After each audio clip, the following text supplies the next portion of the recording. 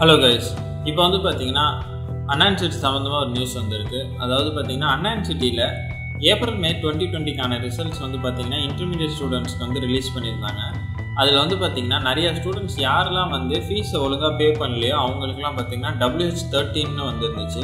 இப்போ வந்து பார்த்தீங்கன்னா சென்னை ஹைகோர்ட்லேருந்து பார்த்தீங்கன்னா அண்ணான் சிட்டிக்கு வந்து ஒரு ஆர்டர் ஒன்று விட்டுருக்காங்க. அந்த ஆர்டரில் என்ன சொல்லியிருக்காங்க பார்த்தீங்கன்னா பணம் கட்டின ஸ்டூடெண்ட்ஸ்க்கும் சரி பணம் கட்டாத ஸ்டூடெண்ட்ஸ்க்கும் சரி எல்லாத்துக்கும் உடனே வந்து ரிசல்ட்ஸை ரிலீஸ் பண்ணணும் அப்படின்னு அந்த ஆர்டரில் சொல்லியிருக்காங்க. ஸோ இதனால் பார்த்தீங்கன்னா யாருக்கெல்லாம் ஒன்றும் ரிசல்ட்ஸ் வரலையோ அவங்களுக்குலாம் வந்து பார்த்தீங்கன்னா உடனே ரிசல்ட்ஸ் வந்து பப்ளிஷ் ஆயிரும். ரிசல்ட்ஸை நீங்கள் உடனே செக் பண்ணணும் அப்படின்னு நினச்சிங்கன்னா படிஃப் ஆப்பில் போய் அன்ஆன்சிட்டி ரிசல்ட்ஸ்னு இருக்கும். அதில் போய் உங்களுக்கான ரிசல்ட்ஸை நீங்கள் செக் பண்ணிக்கலாம். தேங்க்யூ அண்ட் உங்களுக்கு வேறு ஏதாச்சும் டவுட் இருந்துச்சுன்னா என்னோட இன்ஸ்டாகிராம் பேஜில் உங்களுக்கான டவுட்ஸை வந்து ஆடியோவை ரெக்கார்ட் பண்ணி எனக்கு அனுப்பிச்சுடுங்க. அதுக்கான ஆன்சரை அடுத்த வீடியோவில் பார்ப்போம். தேங்க்யூ